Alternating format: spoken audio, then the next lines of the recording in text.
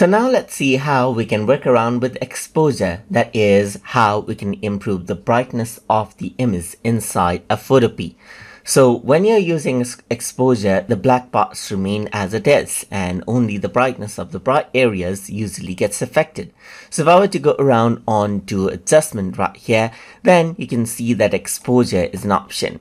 So once you go around onto exposure and I change around the exposure, you can see that the dark parts remain as it is right here. It's not affected like much when I actually work around with brightness. So you can see that you can change around the brightness of the image right here.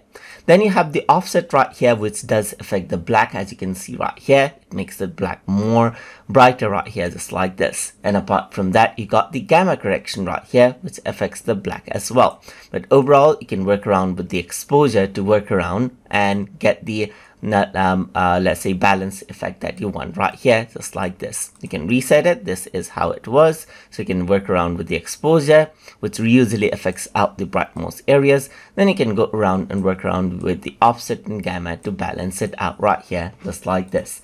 And that is how you can work around with exposure inside a photopea so if you guys learn something. As always and as always please like comment share and subscribe